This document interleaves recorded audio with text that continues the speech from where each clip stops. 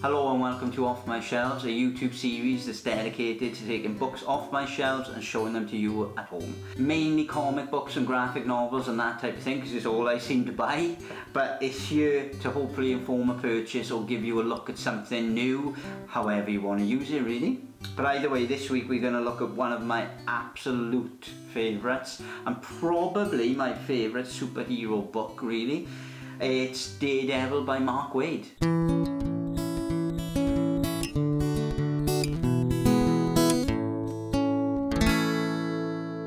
Daredevil by Mark Waid and a whole range of other artists. The series would later become quite closely associated with the artist Chris Samnee and quite rightly so. But this starts off with a whole roster of different artists. But Mark Waid being a consistent writer throughout. Now this book took me by surprise. I originally had the smaller hardback graphic novel versions which collected six issues. I read that and I was instantly just hooked because it's so well written, it's so enjoyable, it's so different, and it, the pacing of it is wonderful. It's absolutely perfect read, and it's a perfect superhero comic as well. It really is. It doesn't go like all brooding and deathly.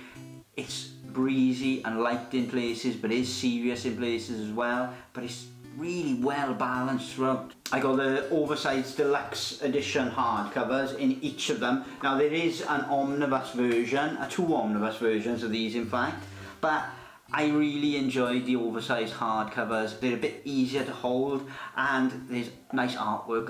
So we're going to be looking through all five volumes of the Daredevil series here in oversized hardcover format. Hopefully you'll enjoy having a closer look. Now, Mark Waid's Daredevil run is just spectacular, really. There isn't many other words you can use to describe it.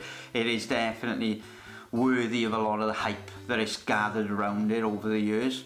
And as I said in the introduction, I've got the individual oversized hardback versions of the entire run and I prefer these over the omnibuses just because they're a bit more easy to handle really. And so yeah, the dust jacket at the front, Side Volume 1 and the various artists to contribute to the first one and the back. And then what's really nice about the oversized hardbacks is that they've all got individual artwork on the hardback itself as well which is great. And so this is the artwork for volume 1 you know, there isn't really many ways that I can tell you, oh, you know, go out and read this book because it's this, this and this you just have to read it because it was one of those things that I did as well. I started out reading the individual trade paperback version and I was instantly taken by the artwork that Paolo Rivera and the Marcos Martin, I think, Marcos Martin, all those artists that contribute to this first kind of issues, the first issues really, just drew me in. But then the storyline was fantastic. I was not a newcomer to Daredevil. I had read the Frank Miller run, but then when I read this, there was just something so amazing about the art, about the way the story was paced, about the bad guys and enemies they used, about the confidence that Daredevil had in it. It, it was just, it's just a really stunning, beautiful read in every way, shape and form. It really does add something different to the Daredevil mythos and it's totally different. Since reading this, I've read a few other Daredevil books and stuff like this, and this is very much an individual take on Daredevil. I mean, the radar sense that it depicts is just beautiful and stunning in every way. Everything about it is really individual to Mark Waid's run. I don't think it's that similar to any of the other runs that I've seen at all really. On to volume 2 and this is where uh, another writer pops in, Greg Rucka, which who will be featured on the channel, channel at some point definitely because he's a fantastic writer. And where the artist Chris Samnee also pops up. Now after this volume Chris Samnee becomes pretty much the stable artist for this entire run, his artwork being on the cover here. And this is the cover, dust jacket cover the side and the back and then the underneath artwork comes from the Punisher and Spider-Man crossover that appears in this work really. And I'm not going to talk to you too much about the individual storylines. I'm just going to show you the book because there is a hell of a lot of story going on. Now the first volume sets up a lot of the new kind of image of Daredevil really. It introduces a storyline that brings together a lot of the established enemies like the Hand and AIM and other things in the Marvel Universe, other evil organisations and volume 2 of the start continues that story really. It's all about them getting this, um, well let's just call it, you know, the, the MacGuffin really of the plot where they've got this piece of information that everybody needs and they don't want to give it back really and it's a fight for that information to get it out there and to keep it safe and to use it as a negotiating tool all that type of thing. And then you get back into the more standalone issues with Daredevil. And at some point Chris Samnee's art pops in and you can tell Chris Samnee's art almost instantly. I, at least I can now anyway. And this is an issue that Doctor Doom comes into it. So again not your typical enemies that Daredevil would run into but this is another fantastic storyline where he gets captured essentially. Most of the issues as you go through seem kind of separate but then as you go through the series, mainly onto volume 3, which we'll have a look at now. And this is volume 3, the front there, side, and the back. A bit of a chunkier volume this one, I think it's the biggest volume out of the lot really. And some wonderful Chris Samnee artwork on the hardcover.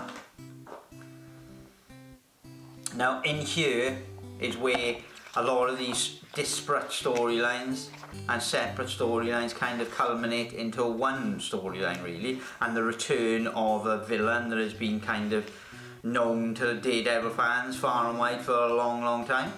And volume 3 is really where this series kicks into a new gear. Not just in art but in writing and everything. Fantastic cover. And yeah the covers are there full as you go through the book each book contains pretty much two trade paperbacks and so around about 12 issues, sometimes a little bit more, sometimes a little bit less, but around about 12 issues per book. I love that cover with a Silver Surfer as well, it's fantastic. And the radar vision, when drawn by Chris Samnee, is a thing of just beauty. The one thing I should say as well is there's not much in the way of extras at the end of these books. There's some variant covers on each of them and then some bare bones kind of extras really but not much. And again you won't really be minding so much about the extras. Uh, well I didn't anyway because the storyline is what you were here for more than anything.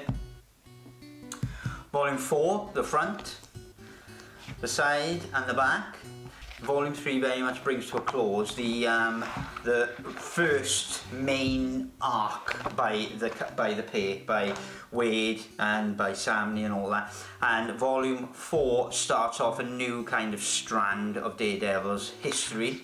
And that is in San Francisco where he goes back to San Francisco and it's almost kind of like you'll see it says Daredevil part 1 the Daredevil issue 1 because they kind of restarted the series to a certain degree.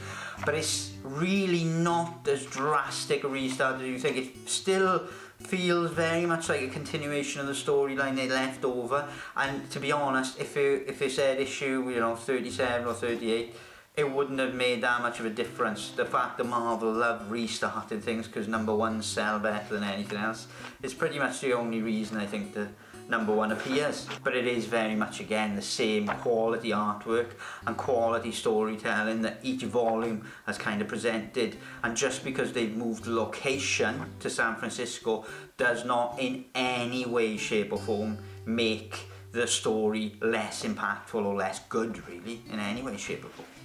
I love the cover of this one, it's just absolutely brilliant. I love that. And finally, the last in the hardback collection.